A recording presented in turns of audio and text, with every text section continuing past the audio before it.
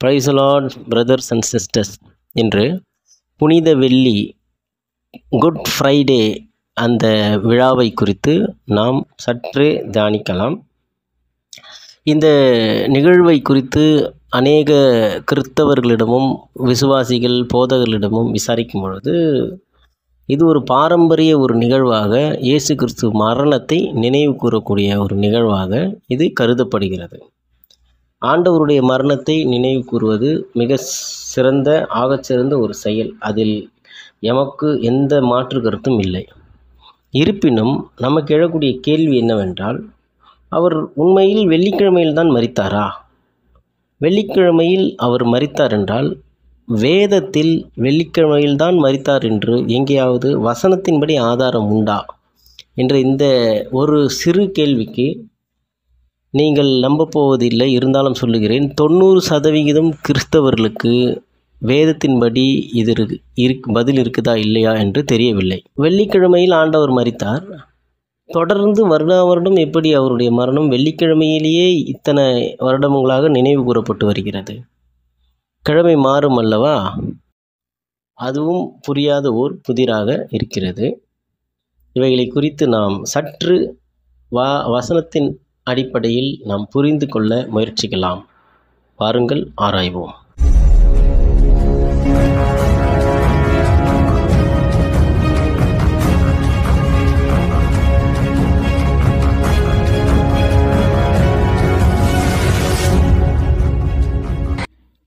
வேதத்தின் அடிப்படையில் சில வசனங்களை இங்கே நாம் மேற்கோள் காட்டி அதை புரிந்து கொள்ளலாம். யோவான் பத்தொன்பதாம் அதிகாரம் முப்பதாவது வசனத்தில் இயேசு வாங்கின பின்பு முடிந்தது என்று சொல்லி தலையை சாய்த்து ஆவியை ஒப்பு கொடுத்தார் இந்த வசனம் சிலுவையில் ஆண்டவர் மறித்தார் என்பதை உறுதிப்படுத்தியது. அதை தொடர்ந்து வரக்கூடிய அடுத்த வசனம் எந்த நாளில் மறித்தார் என்பதை அங்கே குறிப்பிடப்பட்டுள்ளது. ஓராவது வசனத்தில் அந்த நாள் பெரிய ஓய்வு நாளுக்கு ஆயத்த நாளாயிருந்தபடியினால் என்ற ஒரு வாஸ் வசனத்தை நாம் வாசிக்கிறோம். எனவே அவர் மரணம் நிகழ்ந்தது யூதர்களுடைய கணிப்பின்படி நாள்காட்டியின்படி அது ஒரு ஆயத்த நாள் என்று குறிப்பிடப்பட்டுள்ளது. அடுத்தது யோவான் பத்தொன்பதாம் அதிகாரம் நாற்பத்தி இரண்டாவது வசனத்தில் யூதருடைய ஆயத்த நாளானபடியினாலும் அந்த கல்லறை சமீப சமீபமாக இருந்தபடியினாலும் அவ்விடத்திலே இயேசுவை வைத்தார்கள். ஸோ இந்த வசனமும் நமக்கு சுட்டி காட்டுவது என்னவென்றால் கிறிஸ்துவை கல்லறையில் வைக்கும் பொழுது அந்த நாள் ஆயத்த நாள் என்று சொல்லப்பட்டுள்ளது. ஆங்கிலத்தில் த டே ஆஃப் ப்ரிப்பரேஷன் என்று சொல்லுவார்கள். இந்த ஆயத்த நாள் என்பது எதை குறிப்பிடுகிறது? எந்த நாளை இது சுட்டி காட்டுகிறது என்பதை இப்பொழுது நாம் புரிந்து கொள்ளலாம். யூதர்களின் படி குறிப்பாக ஒரு நாள் ஒரு வாரத்தில் உள்ள ஏழு நாளுக்கு தனித்தனியாக பெயர்கள் சூட்டுவது அவர்களிடத்தில் வழக்கம் இல்லை உதாரணத்திற்கு நாம் சண்டே மண்டே டியூஸ்டே திங்கள் செவ்வாய் புதன் என்று நாம் சொல்லுகிறோம் அல்லவா அதை போல் யூதர்கள் சொல்லுவதில்லை. மாறாக அவர்கள் ஞாயிற்றுக்கிழமை என்ன எவ்வாறாக சொல்லுவார்கள் என்றால் வாரத்தின் முதலாம் நாள் என்று சொல்லுவார்கள்.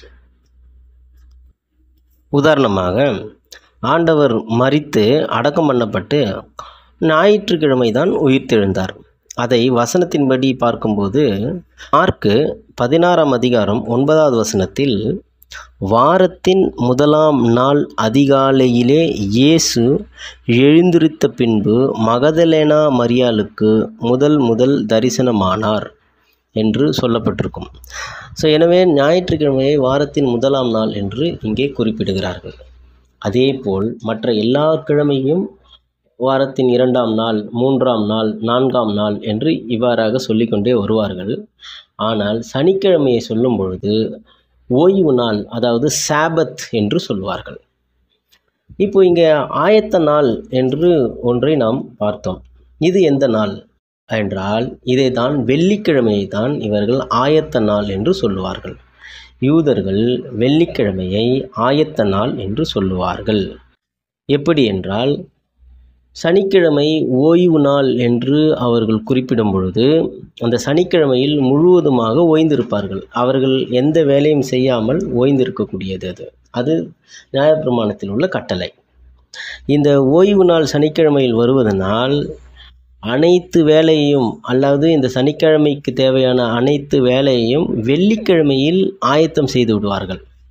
அதனால் அந்த வெள்ளிக்கிழமையை ஆயத்த நாள் என்று வேதத்தில் குறிப்பிடப்பட்டுள்ளதை இங்கே நாம் புரிந்து கொள்ளலாம்.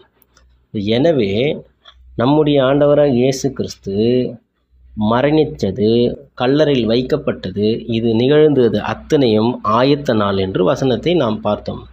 அப்படி என்றால் அந்த ஆயத்த நாள் தான் வெள்ளிக்கிழமை. ஸோ எனவே கிறிஸ்து மரித்தது வெள்ளிக்கிழமையில்தான் என்பது இந்த வசனத்தின்படி ஊர்ஜிகப்படுத்தப்பட்டுள்ளது. இருப்பினும் இப்பொழுது நமக்கு ஒரு கேள்வி. வெள்ளிக்கிழமையில் அவர் மறித்தது உண்மை வசனம் நிரூபிக்கப்பட்டுவிட்டது.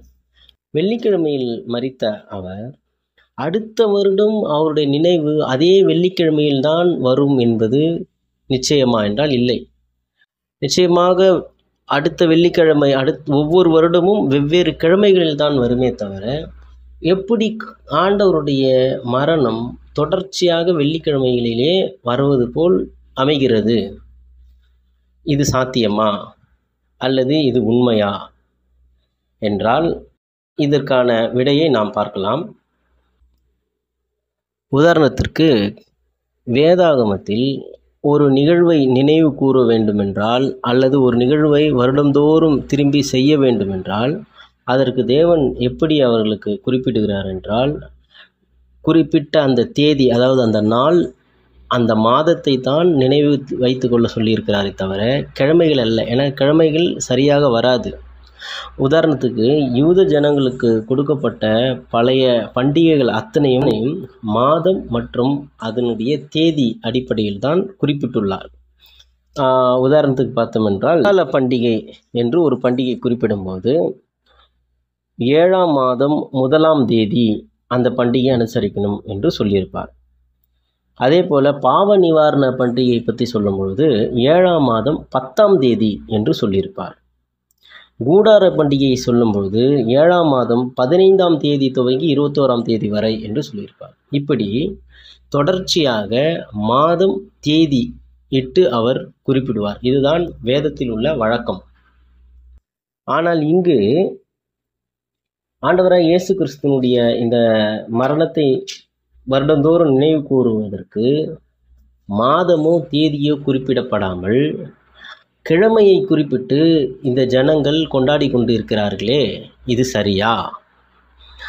அப்படி என்றால் இயேசு கிறிஸ்துவனுடைய மரண மரணம் நடந்த அந்த மாதம் தேதி நேரம் வேதத்தில் இருக்கிறதா என்றால் இருக்கிறது. மிக தெளிவாக இருக்கிறது.